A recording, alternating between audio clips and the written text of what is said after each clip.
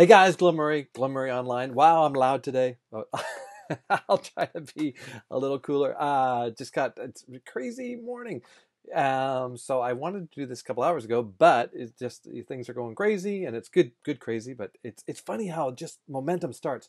Um, so this is 13 Facebook updates you need to know for business in 2019. This is super important because I've noticed like a crazy amount of changes in Facebook. Like things aren't just they're just not working like they used to. You know, my mini ManyChat bot is not firing. I'm trying to fix that, and they're saying, oh, you can't do a subscribe. There's, there's there's tons of changes. So I'm going to go through these 13 um, ones that I learned from Leah, from Todd and Leah. Great guys. I, I, follow a lot of their stuff, and they've taught me a ton, and, and I, I really admire them and, and thank them. So I'm just going to give you my take on, on what, what they basically taught me. Um, so the, oh uh, by the way if you liked uh, videos like this make sure you hit the subscribe button hit the bell and you'll get videos like this from me. And uh, go back through my other videos guys. There's tons of great stuff there. And if you want to reach out and make some money with me then uh, you want to make sure that you join the, the number one uh, program that I'm going to put down below. I actually put three programs down there. Uh, the, the, the, there's there's uh, they're all different, and I, I belong to all three of them. But uh, the first one is the number one top earning uh, money maker, if if that's what you're looking for. Okay, number one, groups are where it's at. So if you don't have a Facebook group yet, and you're trying to build one, you need to build one. So I have a couple of Facebook groups. You can go join them. Um, How to Earn Residual Income is one of my groups on Facebook. Um, social social media marketing uh, boot camp. I have a boot camp uh, uh, Facebook page. I also have or, or, group. I also have a buy and sell group, which is very great. It's my local thing, and I actually just got a new uh, a new downline member in all my programs uh, from my buy and sell just this morning. And that's why I'm kind of excited. I was like, he's like, oh, this is what I want to be doing. Great. And it was from a buy and sell, right? So if you're the admin on the buy and sell, you have a lot of control what, what people can put in there, but also what you can put in there and you can utilize that. And you can also reach out to people when they want to join. So I make sure that I, I message each person that wants to join. I don't message from my computer. I make sure I message from my phone because the messenger is different on your phone than in the computer. Okay, so number one, make sure you're building a group, building community. Facebook is focusing on community. Number two, meaningful interactions. They're really looking for meaning, meaningful interactions. So you need to understand that it's not just about liking and you know a bunch of people uh, just liking your post. It's actually starting to create engagement, create meaningful engagement that, that makes people you know uh, makes makes the community come together. So number three, not all reactions will help you now. Now this is crazy. I was just talking to my wife about this this morning. So sad and angry apparently will now suppress your post, um, which is crazy because what if you're what if you're sharing something that's really sad and endearing to you, and you want to get it out to people, but it's not going to show to all your friends because it's sad. I mean, that's that's kind of weird. What if you've lost lost someone dear to you? But anyways, this is what they've decided. So they want so no matter what, hit a wow, um, wow, haha, love, whatever. That's what they want. Likes are no longer counted. Okay. Um, number four, this was really huge, and I actually bought into a program for a little while that that uh, would help you run online contests and I realized now it's it's kind of useless. So contests, downloads, and giveaways are now getting suppressed as well in your feed. So if you're putting something like, "Hey, download this," or, or you know, I'm I'm going to give away this or whatever, they're going to actually start be, because they don't they don't think that that is meaningful engagement. Who who knows? This is this is just Facebook rules, guys. I'm just letting you know what they're changing on. Okay, so number five, Facebook no longer cares about just likes, and that's what I was talking about earlier. Likes don't do anything anymore. It's kind of like a useless thing. So you need to wow, you need to haha, you need to um, love, or you need to comment. And I recommend always commenting because you can you can create an engagement with other people on someone else's post. I don't say go go do not ever spam your links on someone else's post, but if you can create an uh, an intriguing uh, message or conversation or question, then people can respond to that and you can actually start creating some relationships there on someone's feed without and then don't say, oh yeah, send me a private message. Just just talk about the topic. If that person is interested in learning more from you, then they will send you a friend request or they'll send you a message. Don't don't don't instigate it, okay? That's just not that's not good. That's not cool marketing.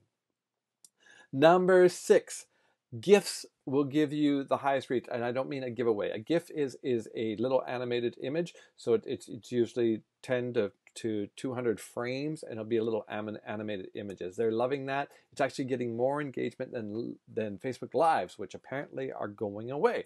So um, GIFs. So if you don't know what a GIF is, it, it's G-I-F, right? GIF. So um, or some some people call them GIFs. I've never I've been in uh, the design industry for many many many years. I've never heard them called GIFs. It's always GIFs. But I know I actually know one guy I know called it a GIF. Um, number seven, do not tell people how to react to your post. Like don't say love my post or comment below or or vote below or you know this will all totally suppress your algorithm and and they're getting smarter and smarter so they're able to do this very very well so you don't want to be doing that. Um, and it will be flagged. So number eight, um, sales or directly promotional posts should be less than 20%. So if, if you're doing a sales post or, or a promotion or, or a, a, a directly promotional post, it should be less than 20%. So what you want to be doing is putting up, um, you know, sharing videos on how to do stuff is always great. Hey, do you want to know the 13 changes to Facebook? Check out my blog or check out my, my, my uh, video right? Or um, you know what what what just sharing information, sharing knowledge.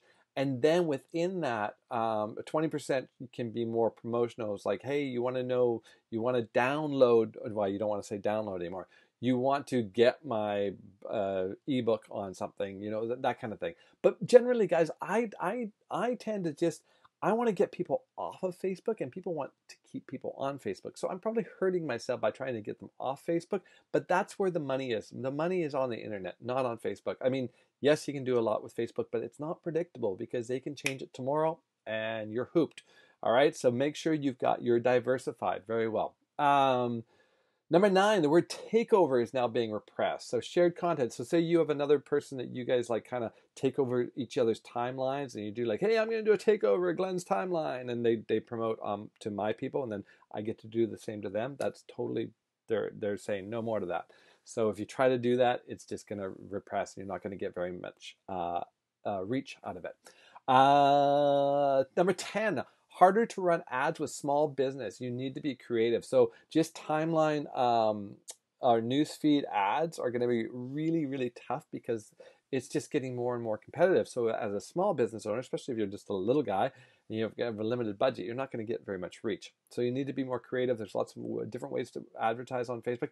I don't think you should be advertising on Facebook until you really know what you're doing. Until you you're making like five to ten grand a month online. I don't think I don't recommend uh, advertising on on Facebook because you're just you're going to throw your money away. There's better ways to build up your brand first, so that, that that you've got this brand, and then start you know then you want to start doing your Facebook ads. And I'd probably hire someone to do it that really knows what they're doing, unless you um, unless you have really good training for it and you know it.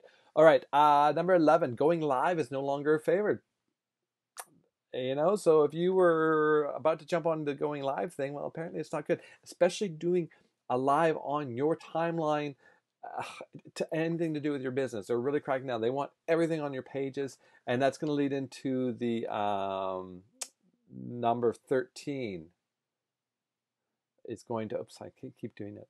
Uh, okay so so it's harder so harder to uh, oh going live right? So instead of doing a live do a live on of course still do lives but but i mean just don't think of it as that's going to be your end all thing. Do a live do it on your facebook page um, but use gifs right? Use get start figuring out animated gifs there's ways to put it on on your phone you can just add a gif i think they can you can do it on the computer as well I, I do so much of my facebook on my phone because i have all my shortcuts so i can text I have a whole bunch of text snippets that I can just add. So I do a lot of my messaging on my, my phone when I'm on Facebook.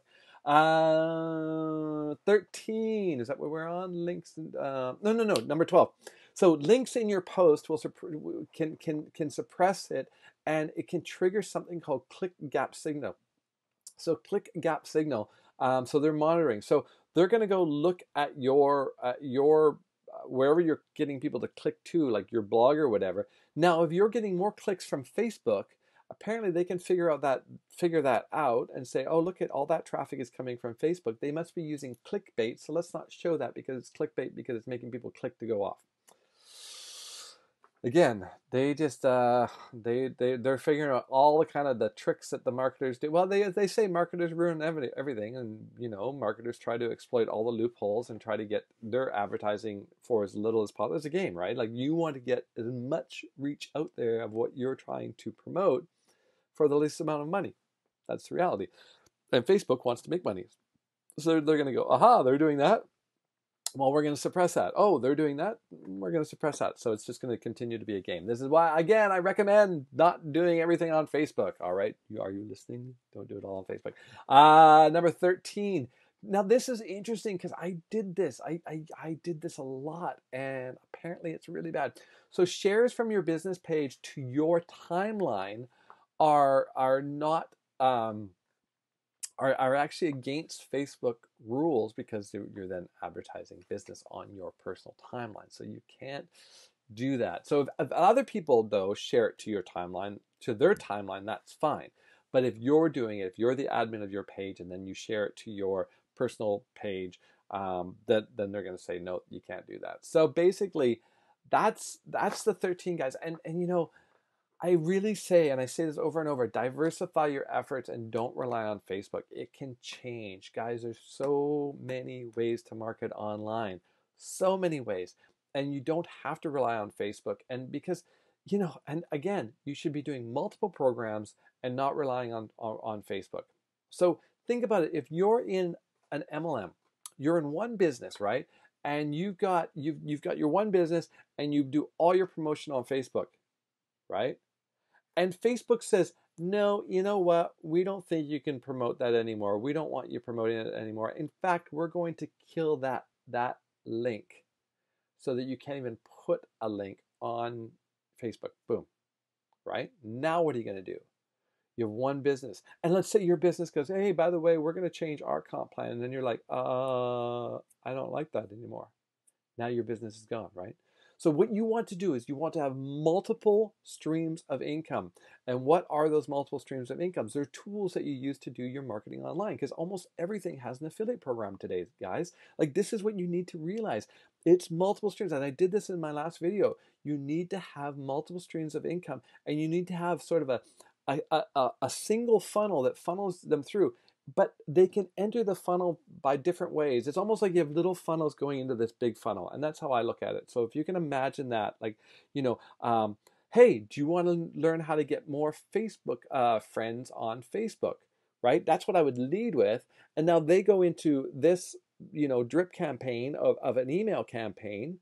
Um, if they buy, well, first it's a free training, so they get value. If they if they want to do a try that program that that's from, I get a commission, and then I can put them into my email uh, campaign which uh, they're going to get dripped on but i can also broadcast to them and say hey guys you know i know that you're you're checking out this but you should check out this which is part of the main funnel or you know someone that looks like an internet marketer that's that's that's that has a lot of stuff going on it's like hey hey i have a really great money making funnel it looks like you probably have most of the tools in it anyways why don't you check it out so then i get them into my email list that way maybe they maybe i'm not going to make any commission on one or two of the tools from them, or maybe they're using different tools and they want to use those tools and I will make money on, on them, right? So there's different, there's just different ways to get everyone into your main funnel, but your main funnel is your email list or email, your email list or lists, right? Maybe you have a couple different email lists that you're using.